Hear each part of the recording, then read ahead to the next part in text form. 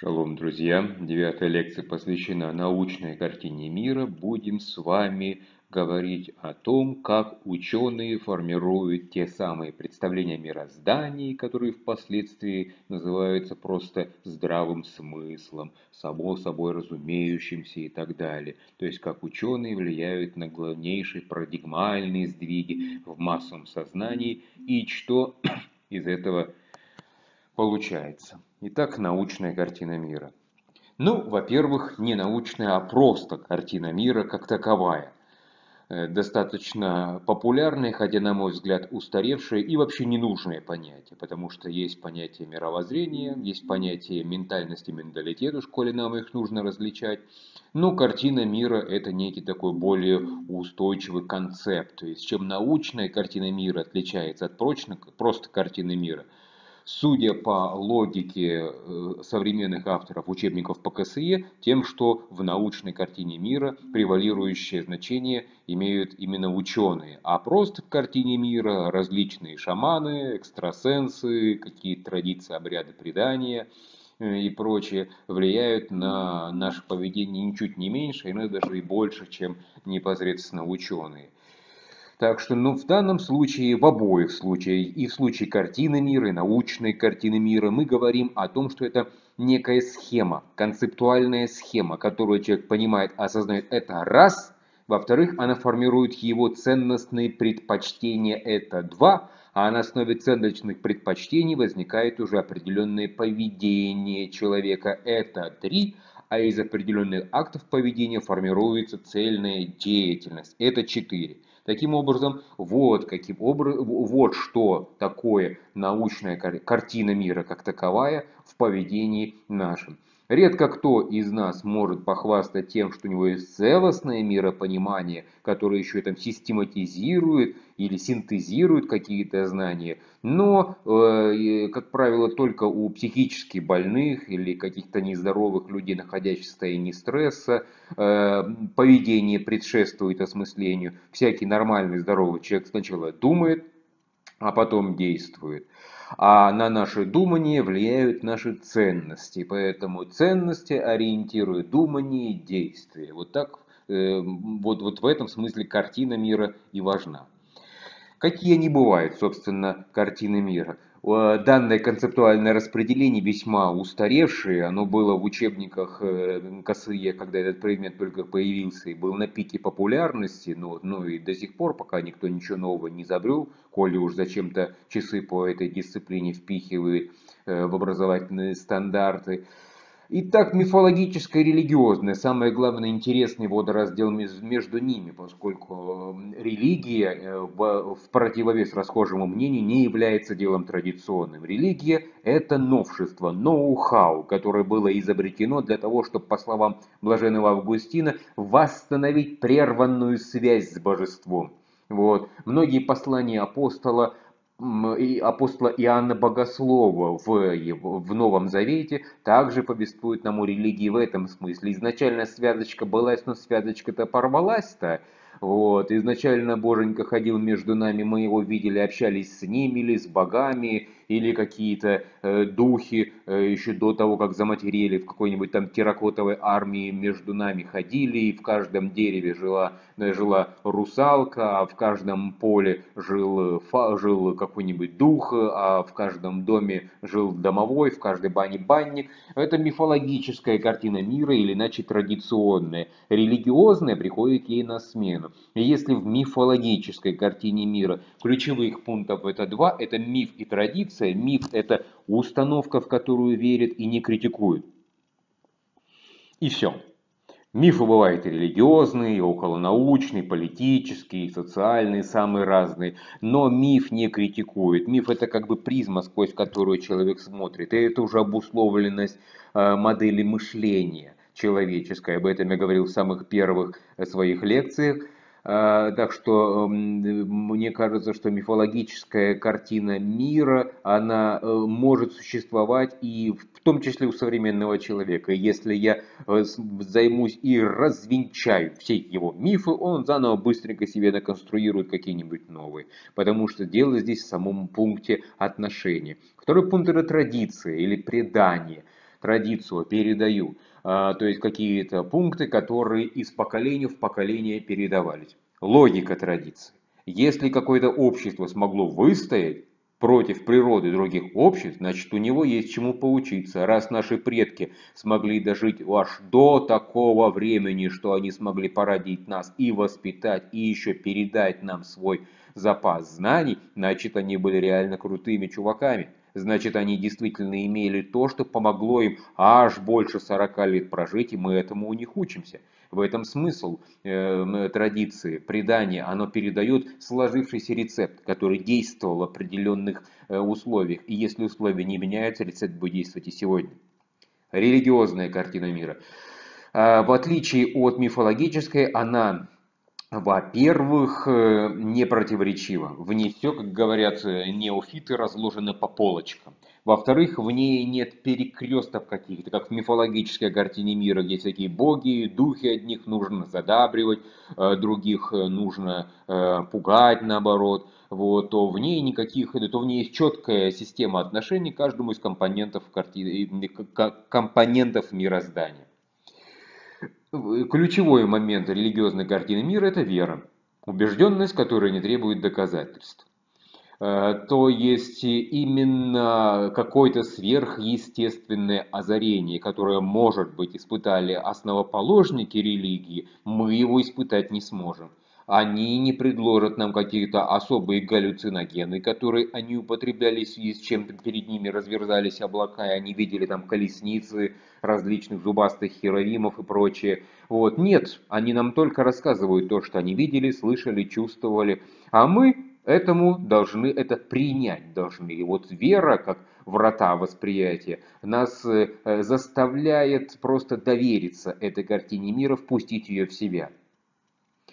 Вот, что такое вера. Убежденность, которая в принципе не может быть доказана. Она может иметь определенные доказательства, которые имеют чисто дидактическую или миссионерскую э, направленность. Но сама по себе вера, э, э, как писал апостол Павел в послании к евреям, так, одну секунду, убежденность в невидимом, как в видимом. В 11 глава послания апостола Павла, если это был апостол Павел, к евреям. И вот на этом все строится. Религиозная картина мира отличается абсолютной систематизацией, это является главным пунктом религии. В религии не столь важно, какому именно а, Джозефу Смиту или какому именно Иисусу Иосифовичу явилось какое-то откровение, и в какой палатке, каким образом неграмотному человеку какой-нибудь архангел надиктовывал священную книгу. Нет, здесь самое главное именно система. Каждый счастлив, что все знает. А, начиная от высших метафизических вопросов и заканчивая конкретной там, пищевой дисциплиной в конкретное время суток. Религия охватывает все. А, значит, если ученые в религии, ну, безусловно, в эпоху господства религии э, все ученые были религиозниками. А, говоря о христианском, э, э, христианской эпохе, в особенности католическом мире, все они были священниками, все они были монахами. Некоторые, как Николай Кузанец, даже до кардиналов дослуживались. Но и, и их и свои открытия, потрясающие. Они, во-первых, должны были сами согласовать со своей религиозной картиной мира. Они не были, никто из них, ни атеистами, ни безбожниками, ни Коперник, э, служка в католическом храме, ни э, монах Джордана Бруно. Они все были религиозными деятелями. А во-вторых, они должны были изложить это так, чтобы а поняли все остальные верующие, б, по возможности эм, э, разминуться э, с великим инквизитором. Философская картина мира по очень нравящемуся мне высказыванию философа Гегеля, философ не правит миром, но они создают представление, а представление правит миром. Собственно говоря, верно это или нет, ну, весь 20 век показывает нам борьбу грандиозных концепций. Адам Смит против Карла Маркса – Владимир Ленин против э, Кейнса и Хайека, и, и Поппера впоследствии. А, Мао Цзэдун против э, всего остального человечества.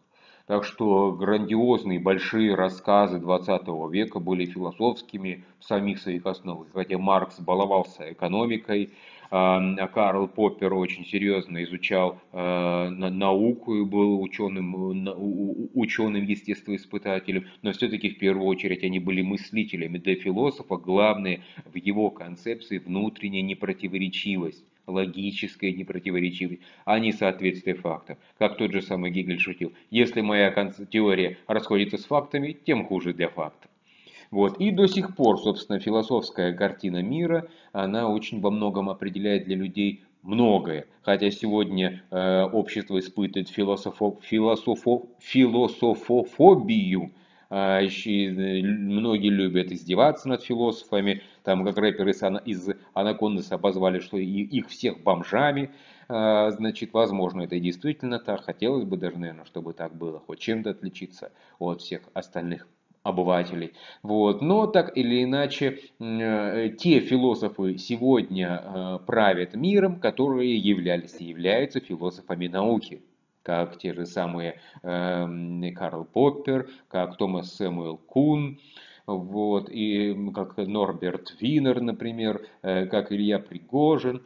Э, значит, потому что все-таки наука выходит на первое место в наше время, когда факт единичное явление природы, зафиксированное и введенное в системную взаимосвязь с другими явлениями. Не только и не столько в уме ученого. Особенность мышления ученого в том, что оно является открытым, в отличие от философского мышления.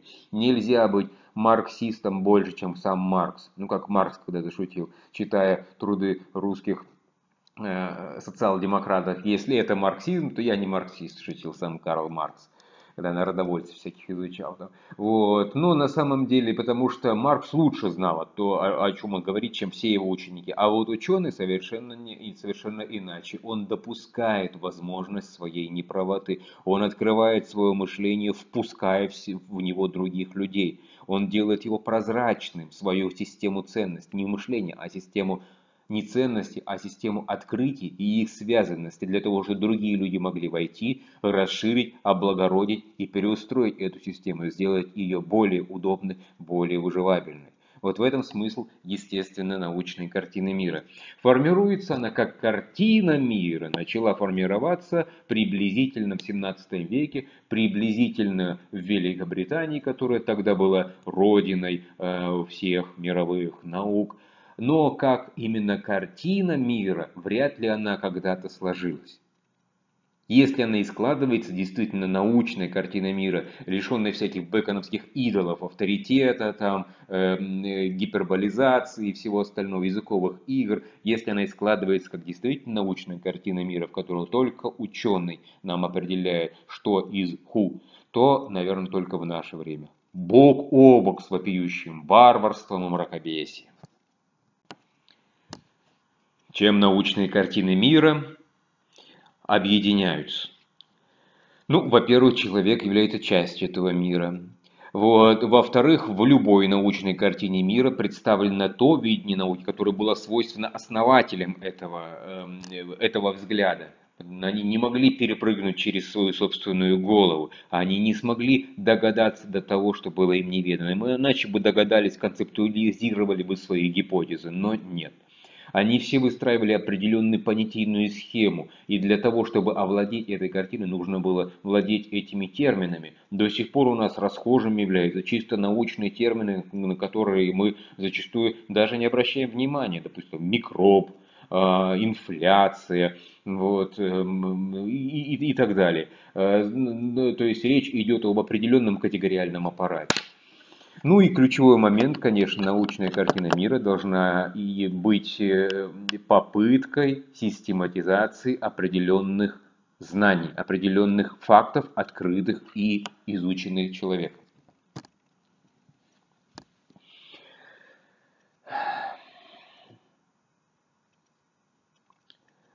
Вот общей научной картины мира на самом деле не бывает. Потому что когда ученые, например, стали смотреть на мир как на гигантский магнит, и им стало непонятно представление их предшественников, которые видели мир огромной э, большой, большой машиной заводной наподобие часов или средневековых там этих роботов, э, которые писали какие-нибудь письма или там ходили по башенке вокруг часов.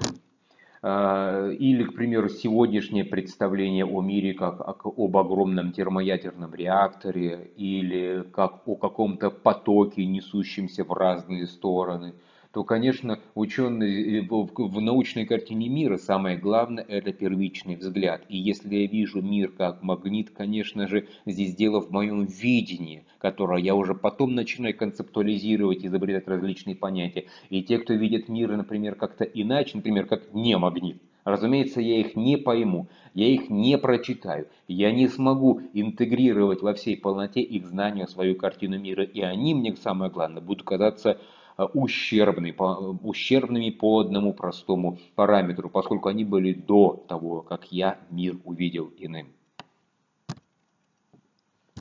Зачем научная картина мира нужна? Вопрос, наверное, столь же глупый, сколь и часто задающийся. Ни зачем она не нужна, научная картина мира. Ученый не может иначе быть, иначе видеть. Он формирует свое представление. Если он действительно удачно связал факты в систему, то его э, видение становится заразным и инфицирует других интеллектуалов сначала в его же области, в лучшем случае, сначала в его же области, а потом в смежных областях знаний, а потом выходит и э, в междисциплинарное пространство и заражает даже тех людей, которые являются далекими от науки, у, у философов, например. Вот, вот как она формируется. Э, поэтому вряд ли ее кто-то формирует целенаправленно, и слава богу, не надо целенаправленно формировать научную картину мира. Ну, лучше нужно формировать научную этику целенаправленно и заниматься эм, наукой э, с чистыми руками, горячим сердцем и холодным умом. Это самое главное, что от научной картины мира требуется. Итак, На прошлом, в прошлой лекции я рассказывал о том, что есть природа с точки зрения науки, про основные принципы бытия природы, о том, что нельзя воспринимать природу как просто совокупность какую-то, или, или даже наоборот, как не совокупность, а каждый отдельный элемент рассматривать как э, целостный, не связанный с всеми остальными и э, о том, что нельзя рассматривать человека в отрыве от природы, и наоборот, нельзя рассматривать человека как абсолют природный, в котором все природные процессы э, заключены, потому что обратной стороной этого станет антропоморфизация природы, рассмотрение по аналогии с человеком, с целями, задачами человеческими, которые мы обычно ставим. Э, также нельзя рассматривать природу в данный момент, как то, что мы видим. Мы должны рассматривать ее в развитии, постоянном эволюции. И в то же время не должны э, допускать какой-то закономерности в этой эволюции, какую-то внешнюю наблюдающую, контролирующую, движущую силу эволюции, которая заставляет ее осуществляться. Нужно помнить, что хаос – является такой же силой природных процессов, как и упорядочивание. И случайные связи, тупиковые формы, регрессивные э, какие-то образцы, э, какие-то дегенеративные э, представители являются точно такими же элементами развития природы, как и эволюционные, новые, более приспособленные, выживабельные, могущественные, самоутверждающиеся и самоорганизованные природные Э, формы. И с другой стороны, мы не должны рассматривать эволюцию как остановленный процесс. Он движется, природа развивается. Вот один коронавирус нам прекрасным показателем мировой эволюции только является, с которым даже священники согласились, засев по домам и надев на себя маски и прекратив подавать всем кресты для, и свои длани для лобызания.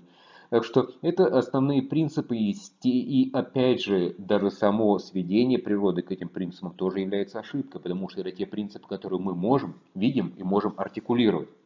Природа больше, чем то, что мы видим. Но мы не можем прыгнуть выше своей головы, поэтому используем свою ограниченность как наш капитал и говорим о том, что видим.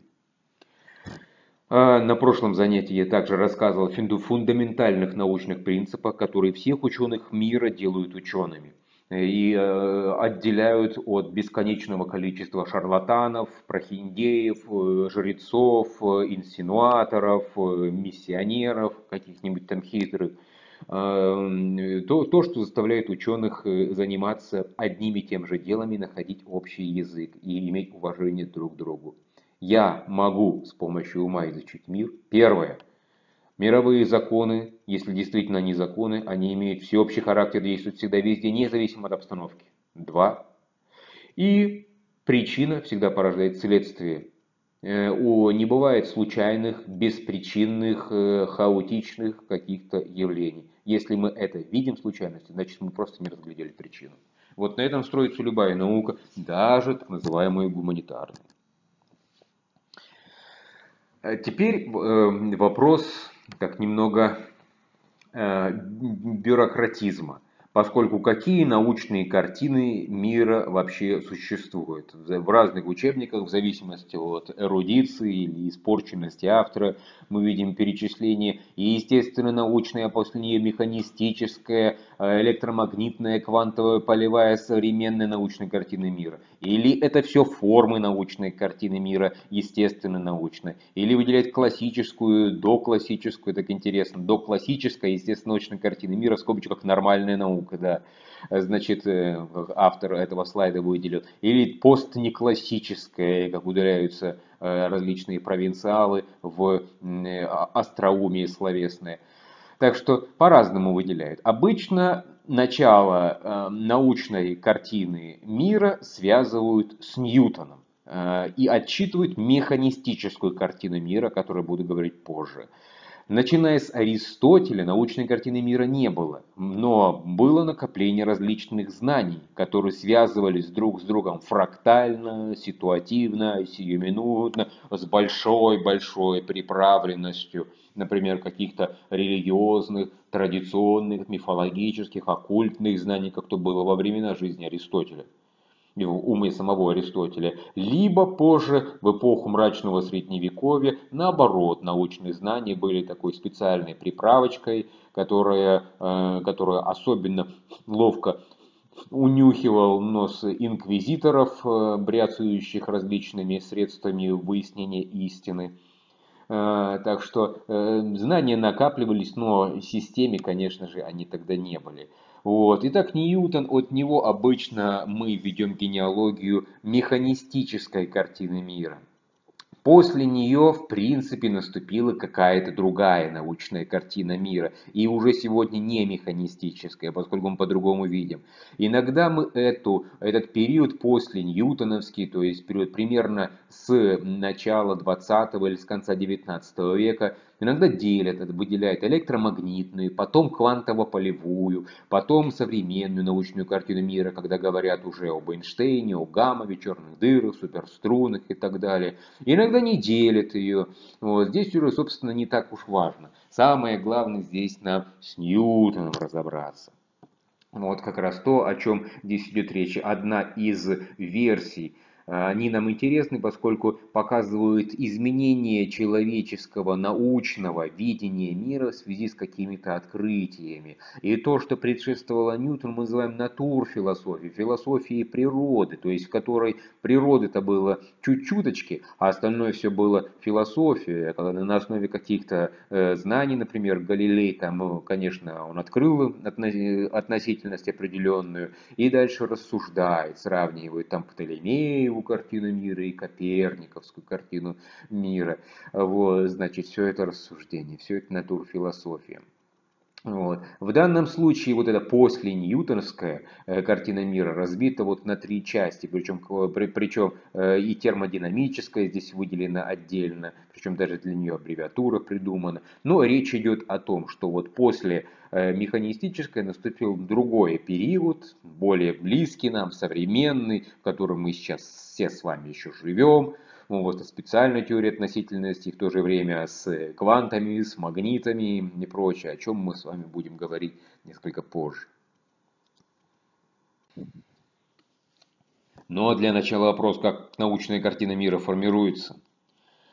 Ученый Томас Кун в своей знаменитой книге «Структура научных революций» вот это, обрисовал этот механизм безумные ученые, э, недовольные старой, устоявшейся какой-то научной картиной, системой взглядов, они э, отдельные какие-то э, озаренные, вдохновленные индивиды формируют свое представление. И как только ему удастся охватить своим умом больше, чем его самого, то есть чтобы не впасть в безумие, вот, значит, немедленно начинается распространение определенного концептуального видения мира. Это самое главное. Вот. Но до этого стоят определенные открытия, которые не укладываются в рамку старой науки.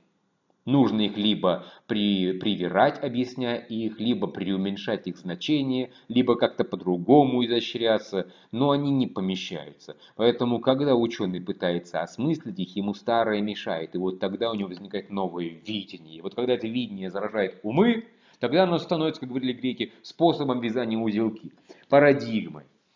Вот, парадигмой становится, когда и ученые, все остальные уже мыслят примерно одинаково так же. Как, допустим, хотя это очень грубый пример, Кун бы за это ругал, то сегодняшней парадигмой является эволюционизм.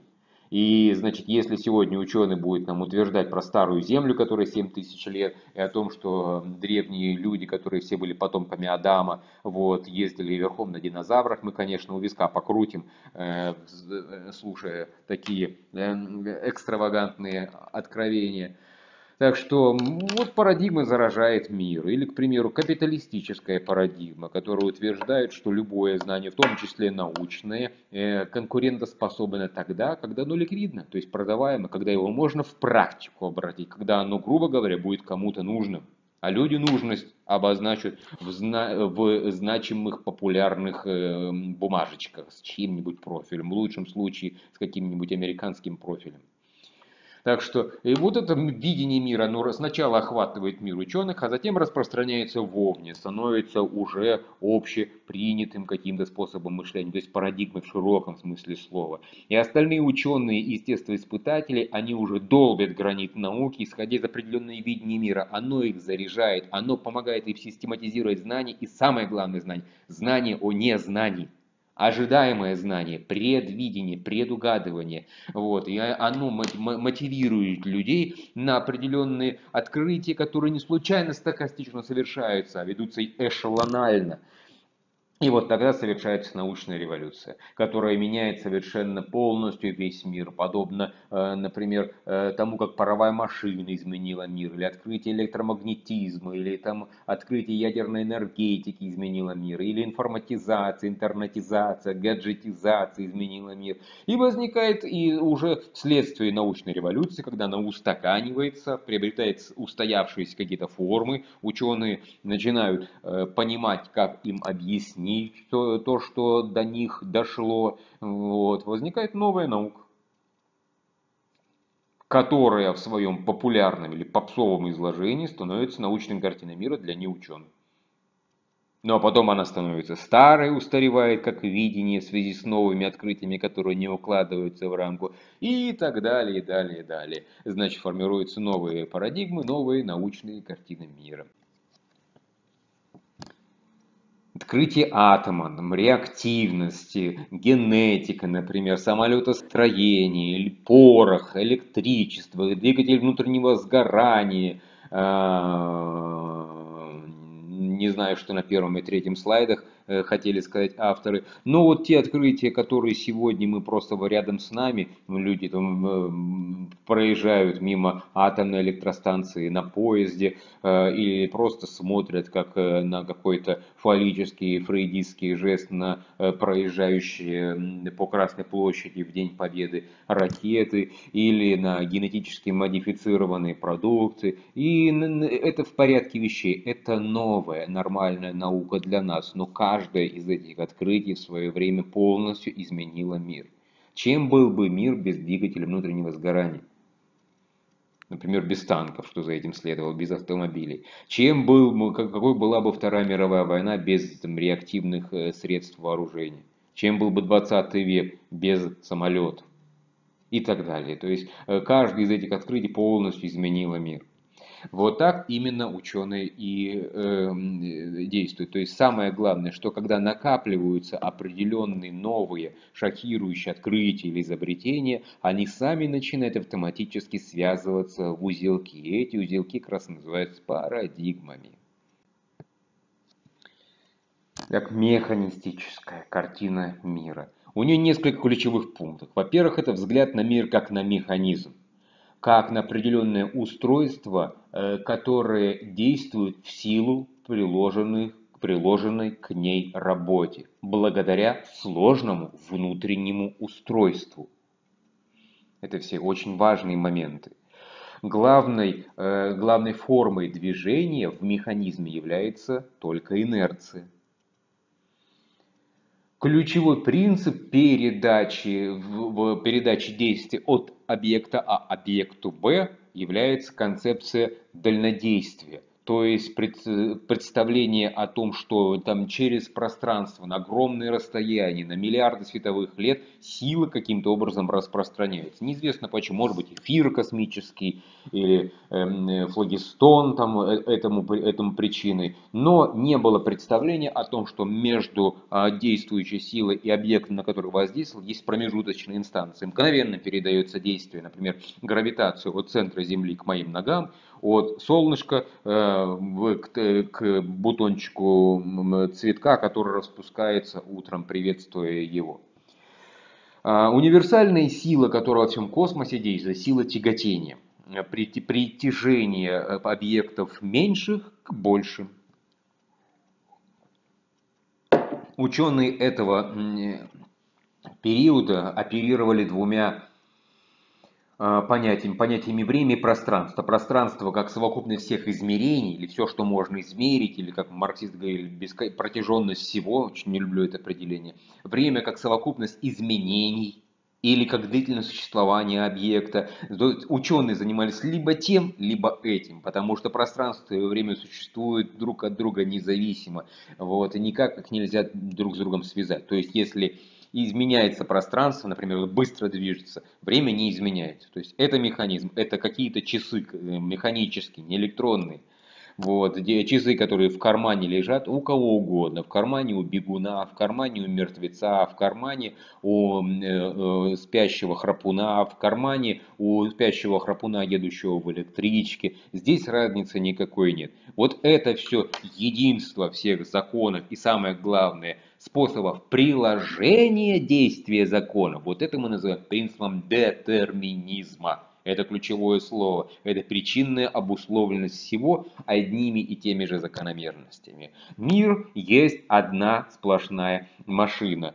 Вот. Ну, конечно, отчасти Отчасти это подводило к представлению от Аристотеля еще пляж такое видение мира о Боге, как о неподвижном перводвигателе. Декарта, например, это привело даже к религиозности определенной, специфическое представление о том, что Бог запустил мир. Даже появилось целое модное философское движение деизма, как Вольтер, например, был ярким представителем всего знаменитой максимы. Если бы Бога не было, его бы стоило выдумать.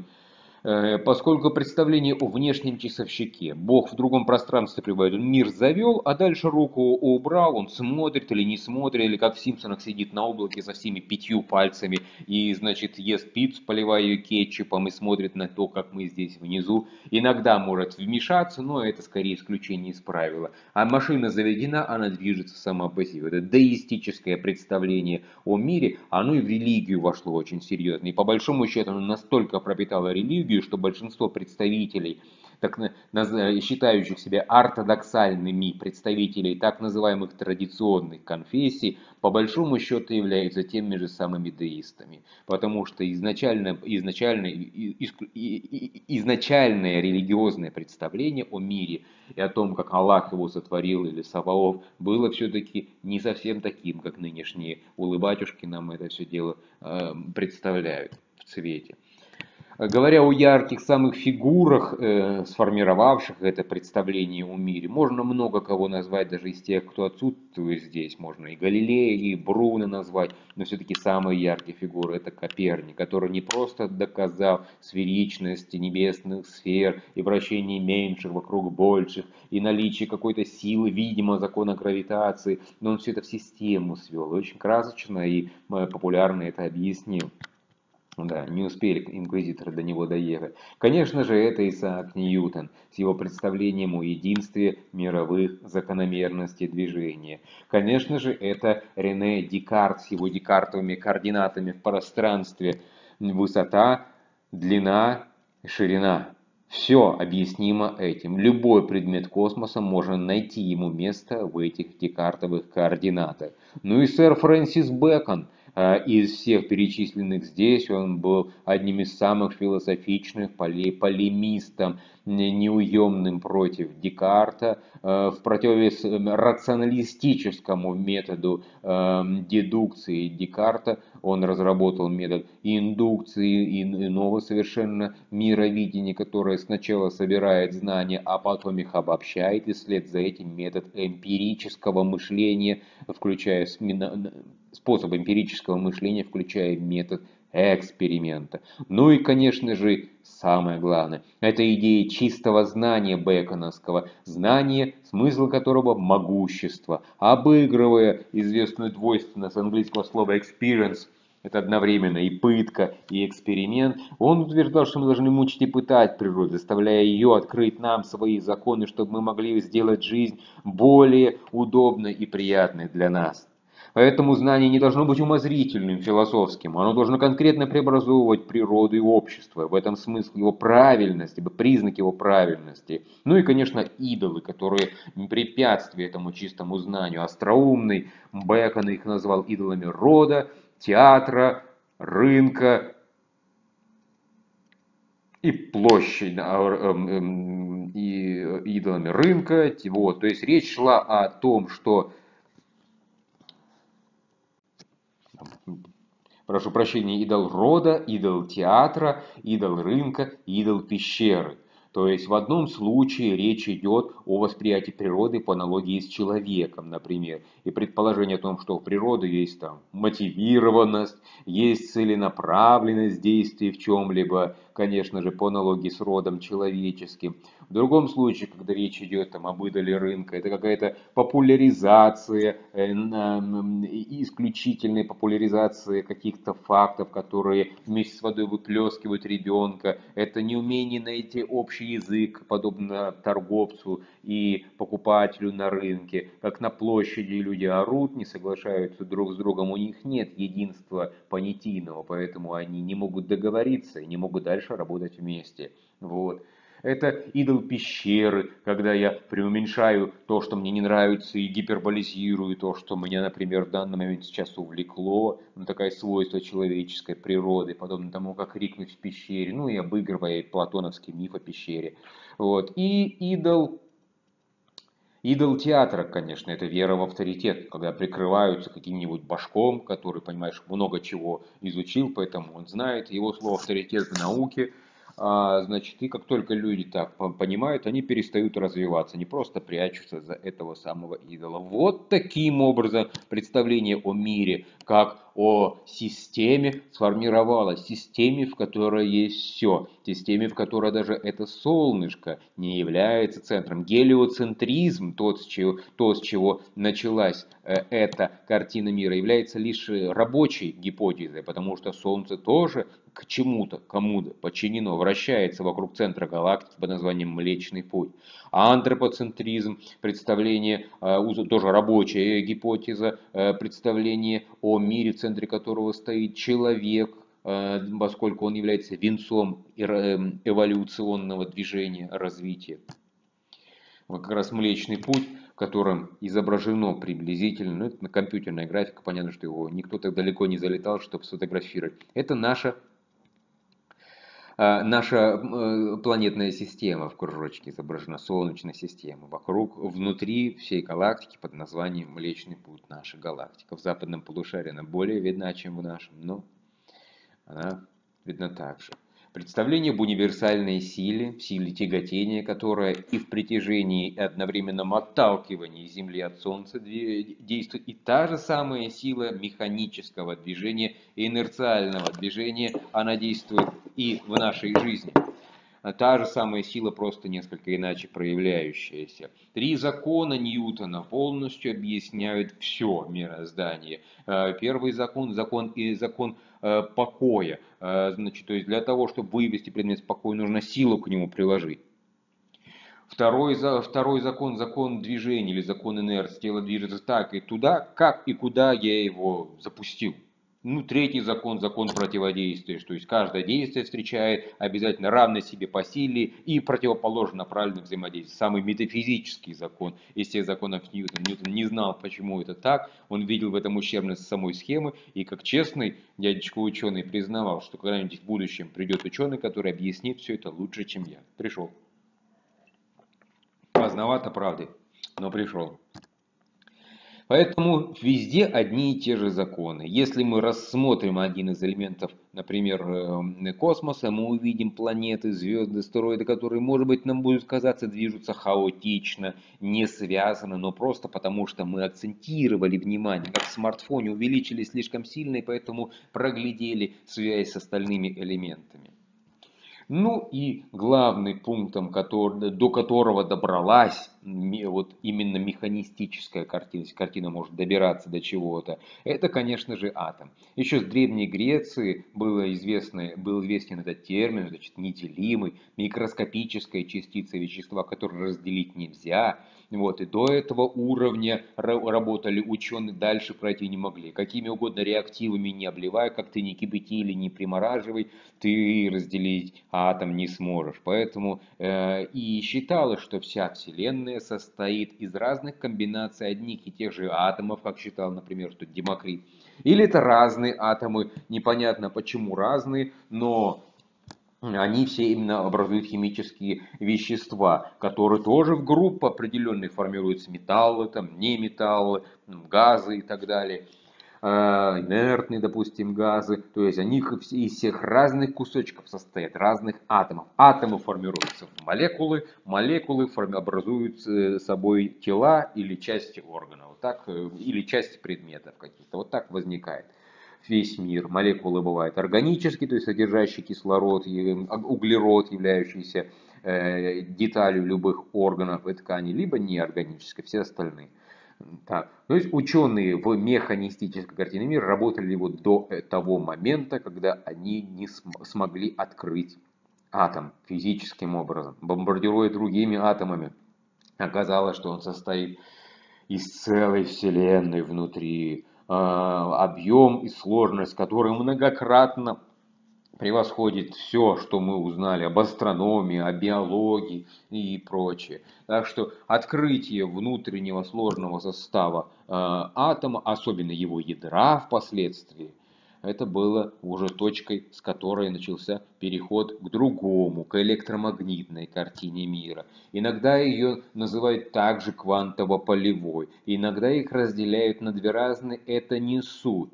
Самые главные здесь моменты – это, во-первых, представление о поле. Среда вокруг частицы, обладающая свойствами этой частицы. Мои голосовые связки редуцируют звук. Вы не находитесь на моих голосовых связках, но вы меня слышите.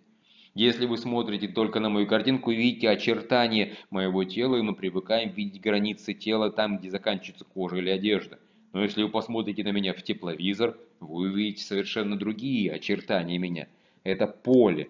Э, вот, то есть, если мы положим булавку на магнит, и если мы поднесем булавку к магниту, будет одинаковое действие. То есть среда вокруг магнита теми же самыми качествами обладает, которыми сам магнит обладает. Поначалу ученые не понимали, в чем дело. Аж до 20 века толком не могли объяснить механизм.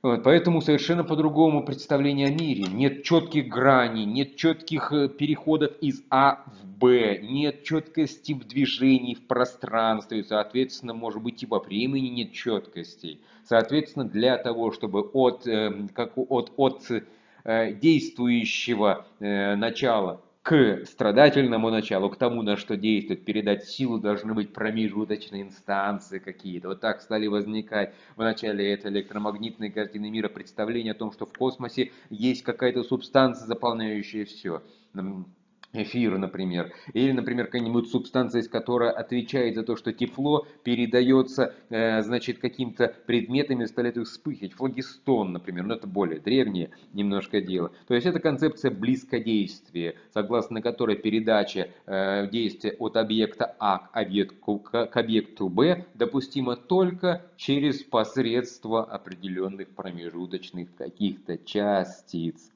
Аж до конца 20 века не понимали, как сила притяжения планетного, как гравитация передается. Например, как гравитация от Солнца передается планете Земля. Потом только в конце 20 века открыли частичку под названием гравитон, которую и это все и переносит, эти маленькие микроскопические космические крючочки. Итак, мир есть магнит, в котором нет четких граней, вот, но есть какие-то силы. Параллельно с распространением электромагнитного представления о мире э, был просто бум различной эзотерики, спиритизма. Там многие ученые не брезговали крутить столы или пытаться общаться с духами умершей, поскольку если нет четких граней здесь, на Земле, то может быть и вообще их нет и можно призвать там дух Наполеона и спросить, какую модель холодильника лучше выбрать для себя. Итак, магнит – это универсальное представление о том, что все всем притягивается. Вот. Но силы, но поскольку притягивает не один предмет, а много, в мире устанавливается равновесие. Подобно тому, как мы знаем, что одна сторона магнита притягивает другую, другую отталкивает. Если мы положим два магнита э, э, рядышком с одной гайкой, то будет сработать в первую очередь тот, который больше, или тот, который ближе. Если они будут одинаковыми, на одинаковом расстоянии, то уже гораздо сложнее будет процесс действия. Если все в мире, эти самые магниты, то представьте себе, какая интереснейшая высшие силы действуют во Вселенной. Вот бы этими силами, эти силы заполучить. Мечтали когда-то супруги Кюри. Вот бы эти силы заполучить и заставить их действовать, в, чтобы можно было пронизывать границы других людей, проникать сквозь них, пока до свинцовой оболочки не дойдешь, выбивая частички из костей. Поле, русское поле, полюшка поле. И в этом поле частички движутся не прямолинейно равномерно, как описывали то там, начиная с Аристотеля и заканчивая Ньютоном, а поскольку сложные силы, взаимодействующие в космосе, и, э, есть на, на каждый предмет, поэтому волнообразно движется любое действие. Свет движется волнообразно, звук, вот, и все, даже брошенный камень движется волнообразно. Хотя мне кажется, что он летит прямо. Но любой лучник знает, что для того, чтобы попасть в цель, нужно стрелять насколько-то выше цели, поскольку земная гравитация исказит полет стрелы, она, полетев сначала вверх, потом будет притягиваться. Поэтому и мушка ставится не внутри дула э, оружия, а над ним, чтобы учитывать вот это отклонение пули под воздействием, поскольку волнообразно движется все в мире. Волна это ключевое представление о том, что есть все в мире.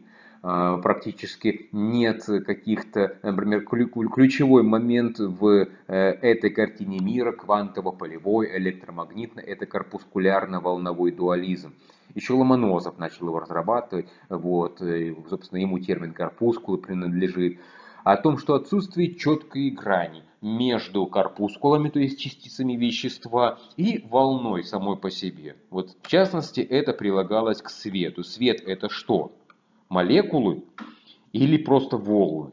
И то, и другое. Волнообразно движутся эти самые молекулы, крошечные кусочки света, фотоны. И когда они падают на фотобумагу, они или, или например, на э, пластиночку э, в, э, в, в фотоаппарате в электронном, Э, на световую панель падают и выбивают из нее какое-то количество электрончиков. И сильная волна выбивает в этом месте больше, слабая волна в момент какого-нибудь подъема выбивает меньше. В итоге у нас формируется рисунок. Вот, свет формирует рисунок, он действует э, как, как сила вполне материальная. Поэтому волна – это траектория движения определенной частицы. И волн без частиц не бывает. Обязательно какие-то частицы движутся волнообразно. И любые частицы не могут двигаться прямо, они всегда движутся волнообразно. В этом и состоит суть корпускулярно-волнового дуализма вот, который все в мире охватывает, опять же повторюсь, и, и даже действия людей могут, является волнообразным. Даже в психологию проникло вот это вот, вот, вот это электромагнитное представление, и даже в такие а, авторитетные схемы, например, как э, в психоанализ, учение о бессознательном и сознании, о мотивах, об инстинктах, о, об аносфере, например, каких-то инстинктов разрушения, положительных тонатически, э, о том, как они влияют на нашу жизнь, э, о, о перцепции, понятие, фрустрация, то есть все это следствие вот, проникновения, представления о неодинаковости, о волнообразности движения в мире вообще всего. эти самые волны, они движут весь мир, движут весь космос, в том числе каждый из элементов, находящихся в нем. И иной какой-то иного способа описания, в принципе, до сих пор не предложил никто из ученых. Потому я и говорился, что квантово-полевое, квант э, это э, частичка поля какого-либо. Впоследствии в 20 веке уже появилась так называемая метанаука под названием квантовая механика, поскольку ученые не могли понять, как движутся частички различного поля внутри себя, вот эти самые кванты, э, и долгое время казалось, что они движутся беспорядочно. Даже теория вероятности на этом разработана была, к этому я позже вернусь. Но потом ученые э, э, сформулировали очень интересную область знания о своем незнании о том, что можно просчитать движение всех квантов, но это слишком сложно, поскольку они все друг с другом взаимодействуют. Поэтому мы можем просчитать примерные вероятности. Теория вероятности, она и в экономику проникла, во многом э, спасла экономические системы различных государств. Она проникает, проникла в социологию отчасти, мотивировав э, многих ученых на принятие идеалов общества, близких идеалам так называемой сексуальной революции или движения хиппи 60-х годов – так что э, вот оно, это квантовая механика, попытка просчитать уровень вероятности, внутри которого мы не знаем, как произойдет, но мы можем просчитать саму эту вероятность. А дальше надеяться, надеяться на авось, но в определенной мере.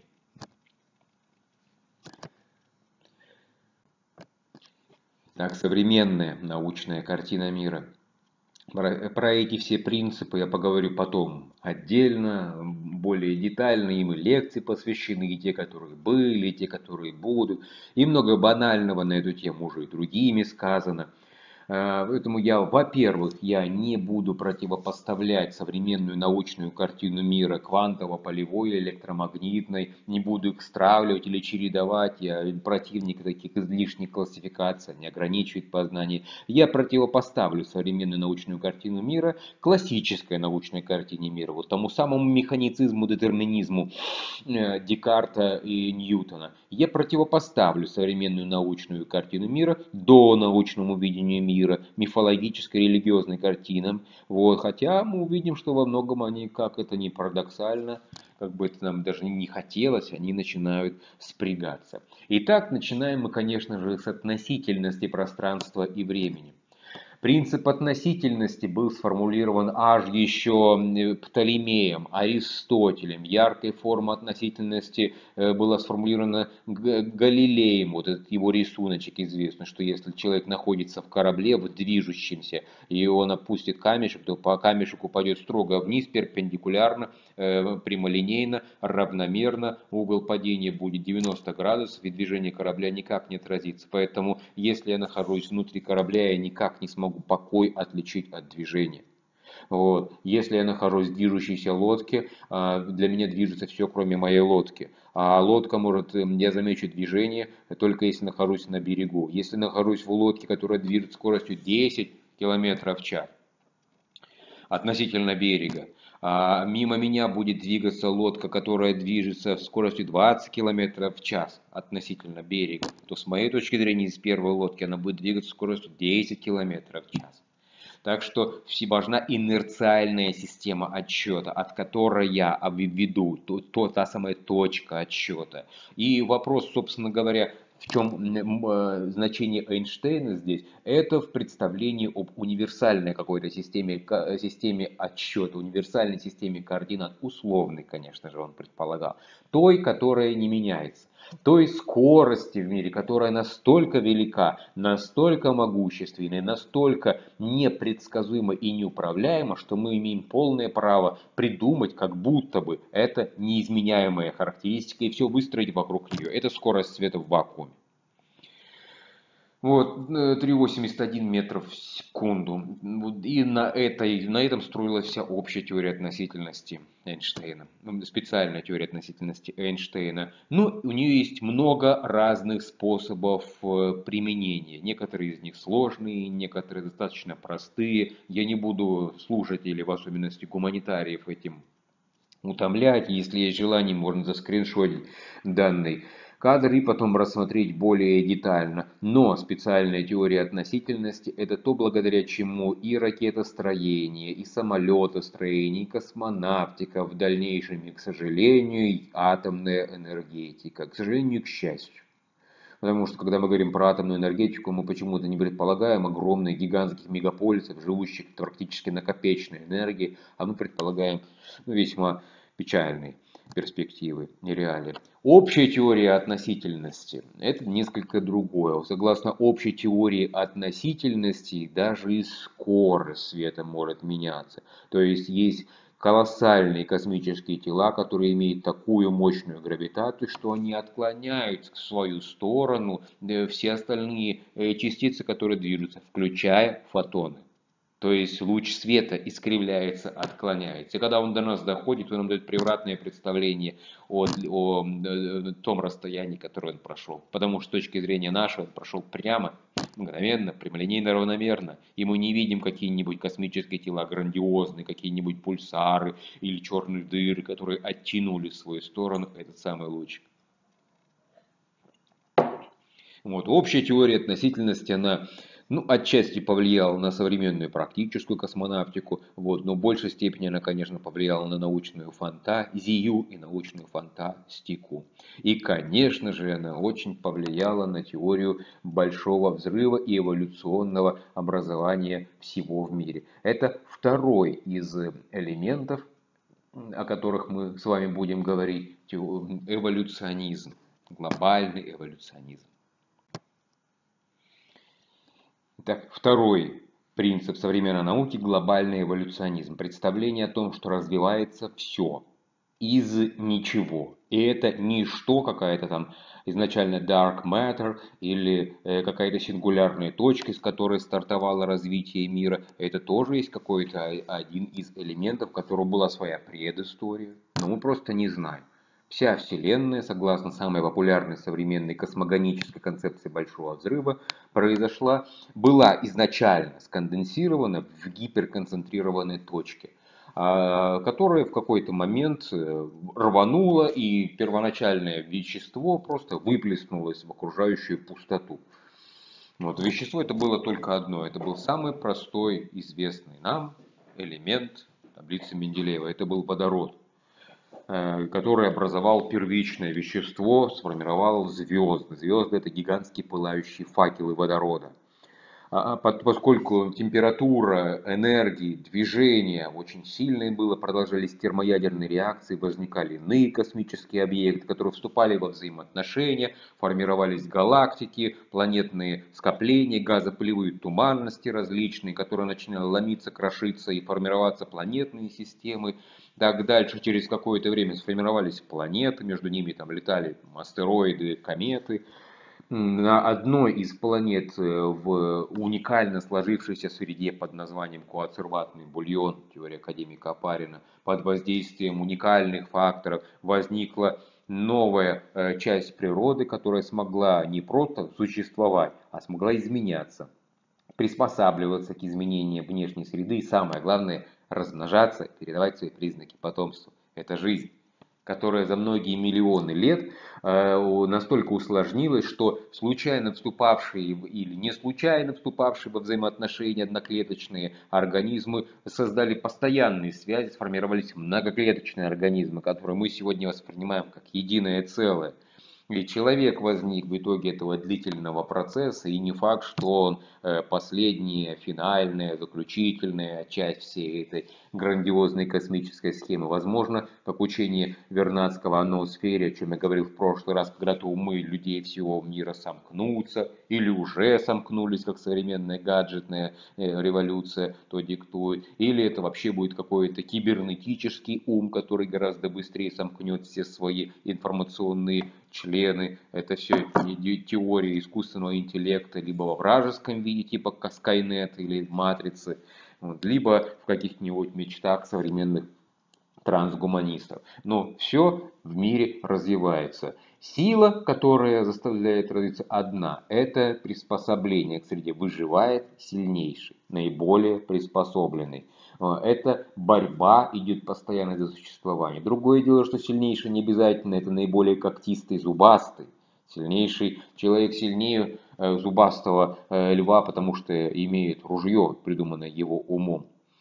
А, сильнее ли человек э, микроскопических паразитов, которые до сих пор с древнейших времен сохранились? Сильнее, поскольку человек, во-первых, может придумать против них вакцину, и мы очень будем надеяться, что действительно эти российские вакцины не являются вакцинами, они будут работать, и э, благодаря сертификатам об этих вакцинах, когда весь мир откроется, нас примут в другие э, государства, еще больше надеемся, что к тому времени уже исчезнет Э, надобности, желания ехать в другие государства, но не об этом сейчас речь. Э, речь о, о другом, об иммунитете, о способности бороться с этими самыми микроскопическими э, гадами с помощью наших собственных маленьких солдатиков-эритроцитиков.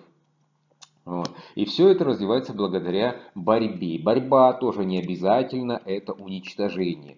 Э, борьба может включать в себя элементы товарищества, взаимопомощи, симбиоза. И даже эм, не обязательно борьба является уничтожением. Это может быть использование сил живого организма, паразитизмом. Или использовать организм так, что ему ни холодно, ни жарко, комменсализм, например.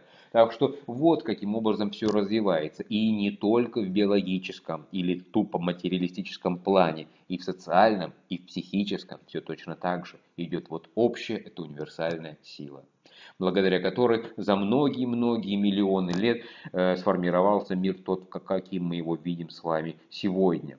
Вот. Почему миллионы лет? Потому что признаки накапливались последовательно. Э, выживали наиболее успешные мутации. Для этого должны были потребоваться многие-многие миллионы, миллионы, миллионы лет, которые отразились сегодня в догмах современной геологии, археологии вот, и там, геобиологии различных. Таким образом, от первоначальных каких-то крошечных э, э, частиц вещества возникла вся биосфера в целом. Возник человек, который звучит гордо. Вот, немножечко дадим ему здесь проявить себя. И, кстати, неграмотно говорить, что человек является, произошел от обезьяны. Это оговорка или ошибка Энгельса. Человек произошел не от обезьяны, от общества обезьяны предка. Человек-обезьяна это связаны родством, а не преемственностью, как и с другими. Э, были тупиковые ветви, которые когда-то многие миллионы лет господствовали на Земле. Динозавры, например мир гигантских папоротников, э, выше, которые были в три раза выше современных деревьев, примерно как секвои нынешние, раздвигая их плечами, бродили гигантские ящеры по этому миру. Ни следа не осталось. Восемь теорий их практически молниеносной гибели всех. Вот. Остались только жалкие какие-то до нас дошедшие, сумевшие приспособиться там, бараны, крокодилы, черепахи. Вот. Так что и не факт, что человек будет выше фазы. Может быть там стрекозы или дельфины, Э, дадут какую-то новую форму. Поэтому развитие идет постоянно. В этом смысл глобального эволюционизма.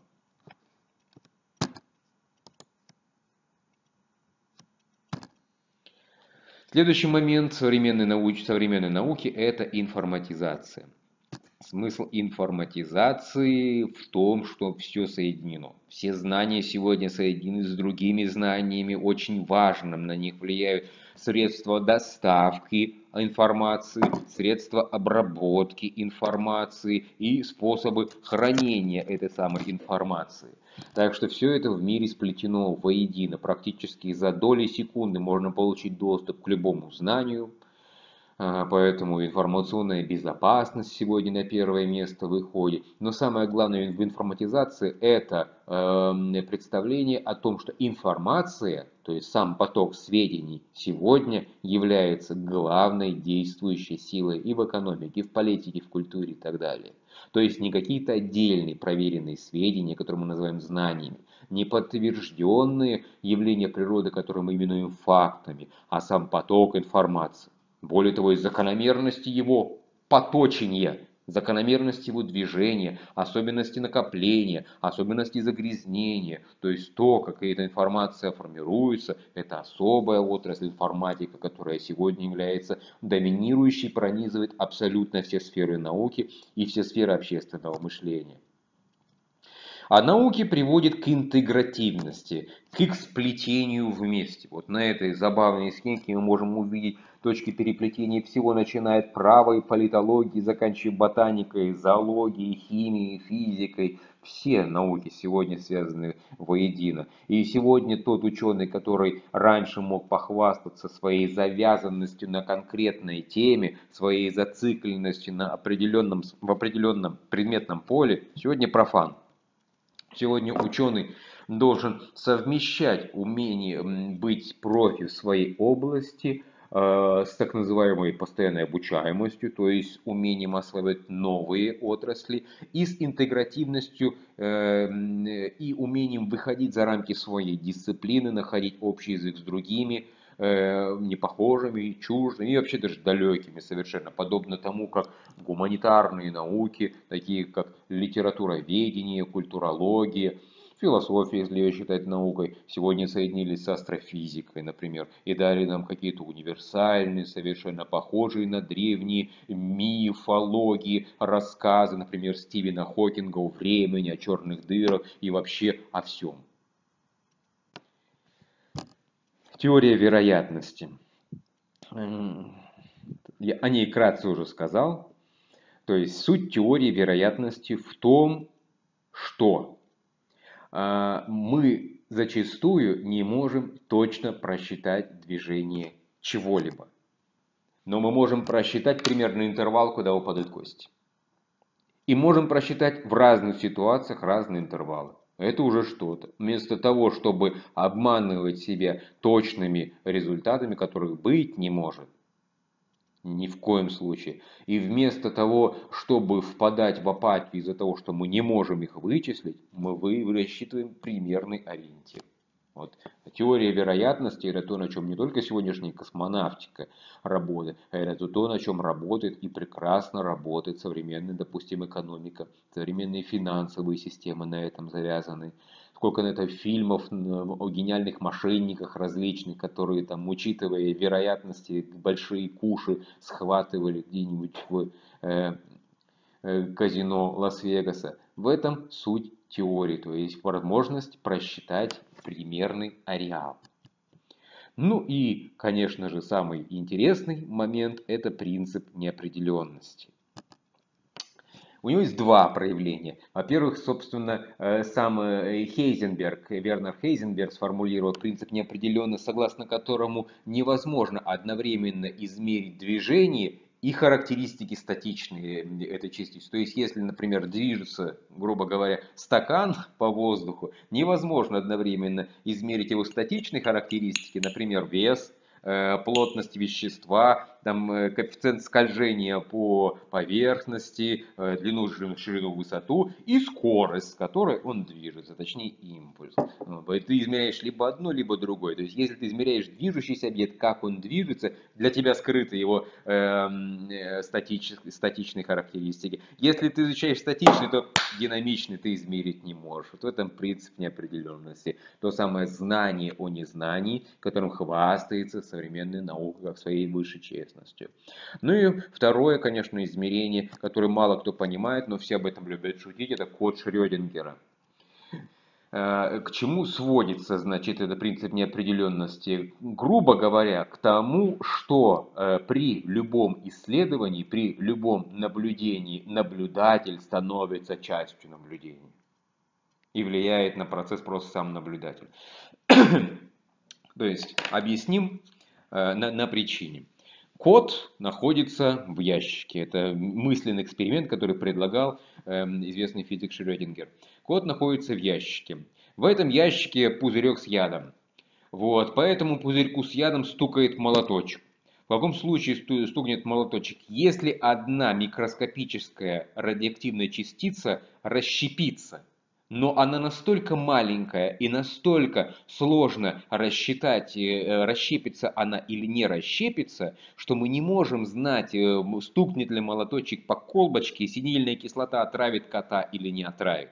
Но если синильная кислота высвободится из колбочки, кот не может быть жив, не может быть полужив или больной, он немедленно умрет.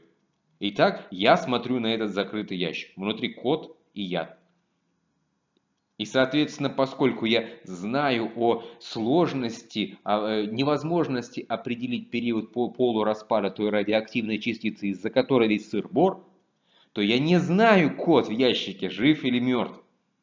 Поэтому я утверждаю, что кот в ящике или жив, или мертв. Но там нет двух котов, живого или мертвого. Таким образом, я изначально вношу двойственность и путаницу. Я вношу в эксперимент то, чего в нем нет. Я туда двух котов помещаю вместо одного. Причем одного в состоянии противоположном. Вот, не может в ящике быть одновременно живой и мертвый или мертвый кот. Там либо один, либо другой. Но наше сознание очень трудно может это воспринять.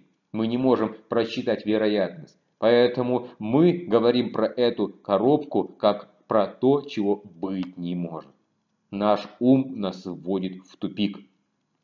В тупик незнаемости, в тупик невозможности просчитать результат.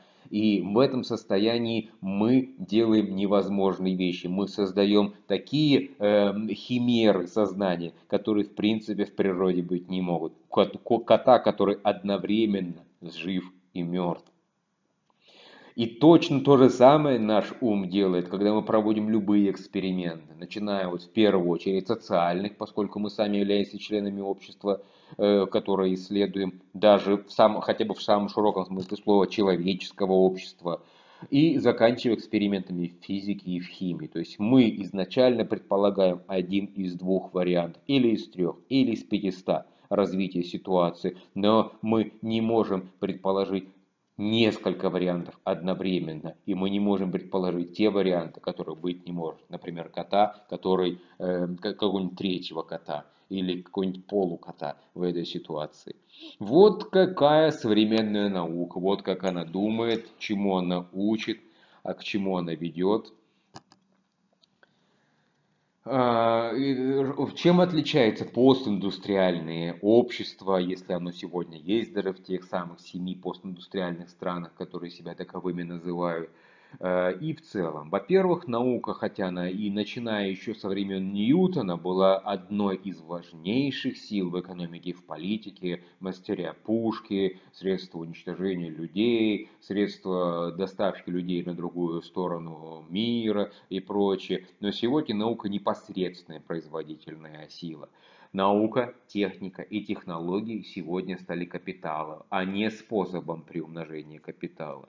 О том, что происходит с информацией, и о том, что это сила, которая, возможно, стала даже более важна, чем та наука, которая производит эту информацию – а, о том, что в науке, что ученый должен разрываться между профессиональной компетентностью и заигрыванием со связями с другими науками одновременно. Только тогда он может быть настоящим ученым. То есть действительно как какой-то квант быть в постоянном движении в неопределенности какой-то, в вечном кочевничестве. Вот такова она, современная наука. Вот к чему она ведет. К чему она ведет, современная наука? Во-первых, конечно же, это генетика и генная инженерия, вплоть до всяких евгенических мечт, предположение о том, что дойдя до такого глубокого уровня, в 2000 году был геном человека расшифрован, опубликован полностью. Сегодня ни для кого не секретом стали воздействия э, на, внутри, эм, на, на внутриматочное, например, эм, э, появление живого организма, создание живого организма, но и на генетическом уровне мы тоже можем воздействовать на что-то, создавать какие-то Эм, э, культуры сельскохозяйственные, которые будут более устойчивы к заболеваниям вредителям. Например, тот самый э, знаменитый золотой рис, который растет практически в пустынях, не требуя воды.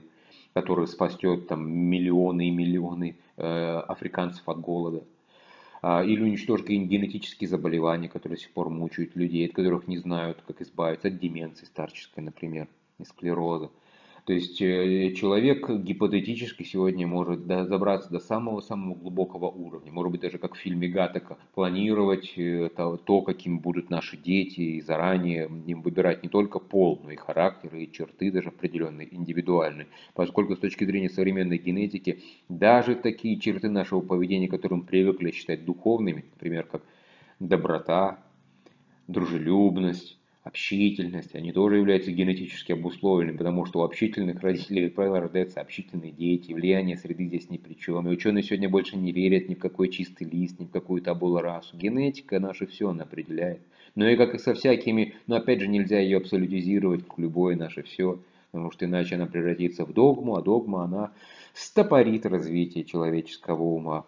Э, китайский ученый из головы выскочило э, его имя в прошлом году заявил о том, что он осуществил первый в истории опыт воздействия э, на генетическое развитие будущего ребенка. За это его посадили в тюрьму, поскольку до сих пор считается неэтичным воздействие на живой, на живой организм, ну, поскольку он не может выразить своего согласия с этим. Космонавтика, конечно же. Ну, пока мы здесь обсуждаем наши политические различные сложности, и неизвестно, вообще будем ли мы на свободе, чтобы обсуждать их дальше, или записывать следующие лекции посвященный естествознанию, ученые вполне серьезно запустили на Марсе первый вертолет, который исследовал атмосферу, даже выработал сколько-то там немножечко кислорода, потому что действительно разговор идет о перспективах заселения а, околоземной орбиты. Э, только сегодня уже не об орбитальных станциях речь идет, они больше научно-экспериментальный характер носят. Например, о колонизации Луны. Даже термин политики выдуман, называется он а, селенополитика вот, наподобие геополитики модной в начале 2000-х. То есть речь идет о э, разделении Луны на разные кусочки э, области, наподобие того, как Антарктиду покромсали в свое время. Марс, конечно же, в исследовании которого сегодня соревнуются э, в первую очередь это США, причем две программы государственная и Илон Маск. Э, и Китай, который также запустил туда свою э, космическую станцию. Вот они перспективы, то, что раньше казалось нам невозможным, сегодня вполне реально. Получить полезные ископаемые, например, из космических объектов, не, и, не изничтожая нашу биосферу, не портя наши почвы, не причиняя вреда нашему климату. Или вынести, например, вредное производство все в космос, например, электроэнергетику все вынести э, в какие-нибудь орбитальные атомные станции. Там висит какой-то большой котел, термоядерный, в котором производится реакции. Например, лазерным лучом он э, кипятит воду в каком-то водохранилище на Земле. То есть все вредное производство вынесено, и в случае э, его краха ничего не будет страшного на Земле. Плюс тому производство в вакууме во много раз снижает э, трудоемкость и стоимость процесса, поскольку сила трения не действует, гравитация не действует, скольжение совершенно иное веществ. И можно наладить просто фантастические какие-то индустриальные циклы там.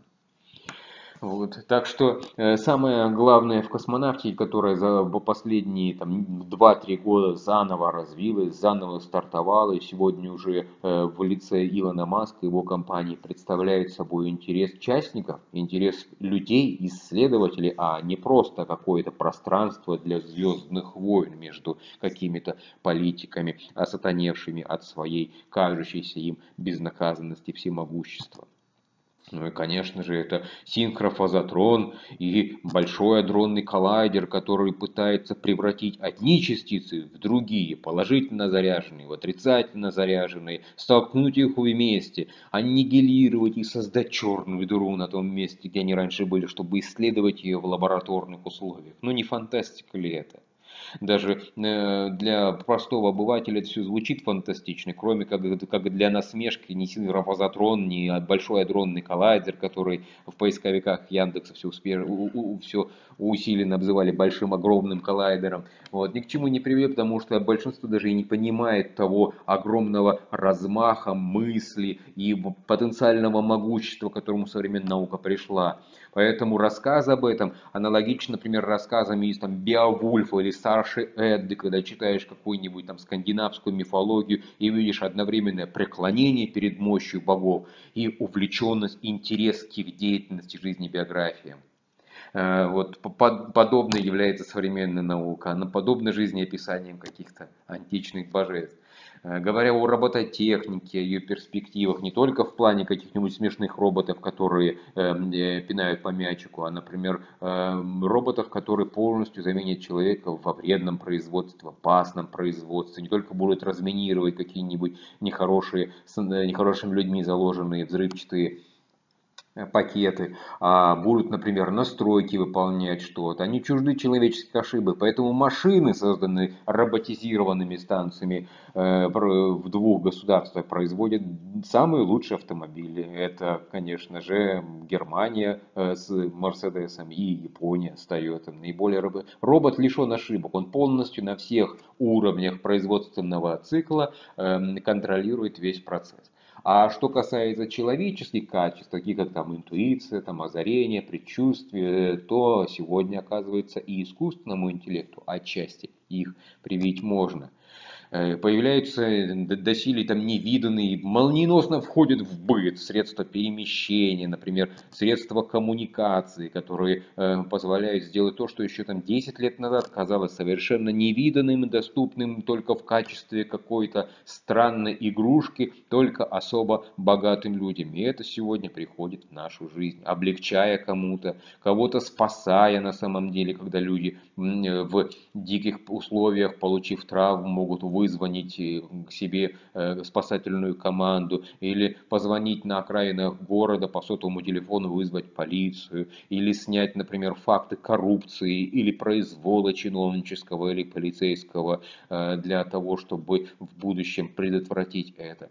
Много чего современная техника, наука, современные технологии, современные гаджеты дают. Это фантастические просто перспективы, э, которые касаются в особенности развития детей, которые живут в мире информационном, поскольку они сразу в него входят. Их разум работает по-другому, более гибко, поэтому они схватывают на лету те реалии, которые мы до сих пор не понимаем. Ну как это информация? Что такое информация? И как она сама по себе развивается? А дети на интуитивном уровне все это очень быстро схватывают, подхватывают и готовятся к тому, чтобы стать чтобы относиться к роботам, к искусственному интеллекту, ну, так же нормально и э, прагматично, как мое поколение относится к мобильным телефонам.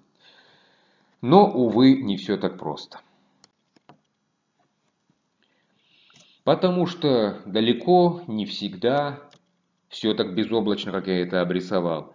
И научное видение мира обязательно должно оснащаться научной этикой. А если мы просто берем элементы современной науки, выдергиваем их из гуманистического контекста, и помещаем в какой-нибудь другой контекст, то может, могут быть совершенно страшные вещи например, э, чудовищные, бюрократические, э, неувязки и э, просто потрясающие по своему, по своему, по своему размаху халатности, ошибки, которые были, считается, были показательными вообще в всем советском обществе, которые сокрушили, почему говорят, что с Чернобыля стал разваливаться Советский Союз, потому что он обнажил такие именно социальные проблемы, не технические, это была одна из самых лучших и самых защищенных ядерных станций в мире вообще. А перебрасывание ответственности с одного на другое, вот, украсть у государства, значит не украсть, плеть обуха не перешибешь и прочие все эти нюансы рабского мышления, которые привели к грандиозной катастрофе сначала в стране, а потом и страны. И то, что происходит у нас и сейчас, что если одна э, из самых богатых и самых мощных корпораций может э, в коме целую реку грандиозную превратить в чудовищную кошмарную помойку и уничтожить весь русский север, а потом просто откупиться, отбросив от своего прибыли крошечный кусочек в виде каких-то там сотен миллионов долларов – Эм, как Норильский никель это сделал, то, значит, э, это говорит, конечно же, не просто в данном случае крах биосферы, крах экосистемы русского севера показывает нам крах экономический. Потому что если Перефразируя э, Маркса, э, перед выгодой в 200% никто не остановится перед убийством родной матери. Перед чудовищными, несопоставимыми ни с чем барышами компания не становится не только перед тем, чтобы реку уничтожить или весь русский север, а тем, чтобы все леса вырубить, уничтожить все легкие планеты и все, все прочие иллюзии, которые закончатся фантазией, фан, э, постапокалиптическими чудовищными фантазиями в духе эквилибриума. Elysium, Elysium. Или катастрофа, например, на Камчатке, которая привела к тому, что, как, сказал, как сказали официальные лица государства, они просто все умерли. Непонятно откуда взялись вредные вещества, которые морскую воду, гигантский океан, считалось до последнего времени, в нем можно все, что угодно сбрасывать. Он покрывает большую часть планеты, поэтому в нем все растворится. Но умудрились такую гадость сбрасывать, такой концентрации, что даже не растворилось. И даже те животные, которые живут на самом дне, куда особенно токсины не достигают, даже они массово начали гибнуть, и до сих пор никто не участвует в, в решении этих проблем, потому что политическая выгода вот прямо сейчас сохранить господствующее положение, плюс э, э, стремление добыть барыш любой ценой, и к этому современные научные новшества, в особенности в современной химии, по, по уровню развития которой, наверное, единственная наука по, по уровню развития которой Россия опережает весь остальной мир. Во всех смыслах. Вот, так что вот к чему ведет развитие науки без элементарной этики, которая породила эту науку. Это, э, что происходит во всем остальном мире, если Запад сегодня озабочен быть экологическим мышлением, а западные сателлиты или подражатели теперь пытаются рассуждать о том, что да-да, нам тоже нужно снизить вредные выбросы в атмосферу и прочее, то огромное количество, миллионы и даже миллиарды людей живут вообще лишенными хоть каких-то возможностей даже получить экологическое мышление, не на жиру, быть бы живу. Поэтому э, сегодня в Европе можно э, в центре города совершать пробежку в любое время суток, потому что там не ездят автомобили, там чистейший воздух. А что творится в Азии, что творится в Индии, в Китае, в Бангладеше, например, в Пакистане. Мы увидим просто кошмарные, чудовищные помойки и увидим полный развал того, что люди превратили свою свою страну, а не только свою страну, потому что особенность экологических проблем, они могут в одном месте возникнуть, но затрагивать весь остальной мир.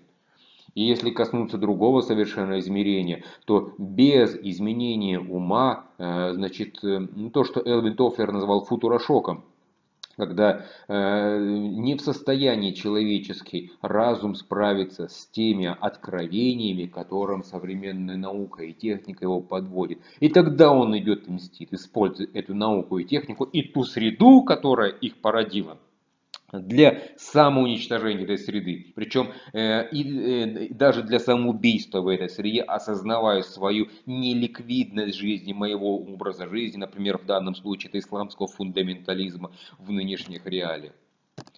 И зачастую действительно мы видим, что современные там, дроны или какая-нибудь другая современная военная техника, э, взятые людьми без элементарных каких-то основ отношений уважительно другому человеку, или совершенно наоборот, с представлением о том, что убивая какого-то нехорошего кафира, я получаю возможность бесконечного совокупления в раю с 70 девственницами – а, значит, э, за то, что я определенное количество людей укокошу, здесь просто современными средствами уничтожения. И чем больше я укокошу неверно, тем больше людей смогу с собой взять туда, к Аллаху. Ну, конечно же, такое, такие представления дают нам совершенно чудовищные социальные реалий, в которых мы с вами сегодня существуем. Когда э, 80-летние головорезы в центре Африки хвастаются десятками взрослых жизней, которые они отняли, и когда они имеют самое современное боевое оружие, которому, наверное, кому-то надо в нашей стране